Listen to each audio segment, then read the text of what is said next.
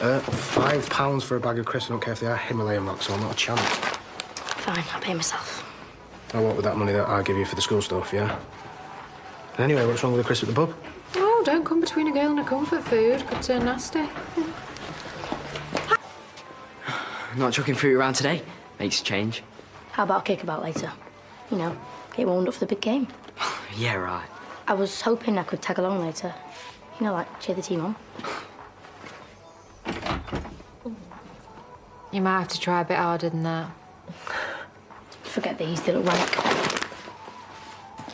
What was all that about? Duh. What do you think? I reckon Jakey's got a little admirer. I haven't lost the file. It's here somewhere. What do you mean, Robert was more professional? I'll have you know, Robert doesn't work here anymore. I'm in charge now, and I will phone you back when I've had a chance to review your booking. TTFN. Oh, I thought working here would be easy. You know, a few hours in between the salon, not getting shouted at. So be warned, Sam, I'm only in the mood for good news.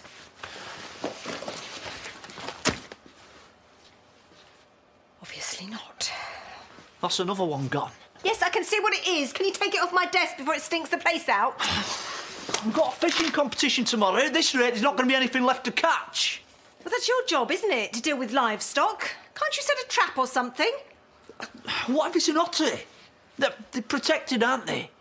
I, I need to speak to Lawrence. He'll know what to do. Out of the question. Lawrence doesn't need any more stress. I'm in charge and I will deal with it, OK? Well, can you do something quick before all the fish are dead? Yes, all right, thank you. Message received and understood. Now, if you don't mind, I've got work to do. You know what you need, don't you? Do you hear myself think, by any chance? Help.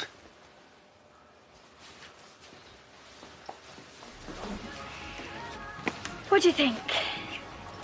It's a bit girly. That's the point. That way all the lads will be looking at me. Shouldn't they be playing football? Whatever. You should make an effort too. Like I care. Thank goodness I've seen you. I need help before it's too late. Oh, I'll be at home, hiding from my septuagenarian stalker. I'll get you for this. Running the estate's turning into a nightmare. I need you to take over. Name your price. Well, sorry, I've got my work cut out at home, James. Nicola, I'm throwing myself at your mercy here. And the answer's no.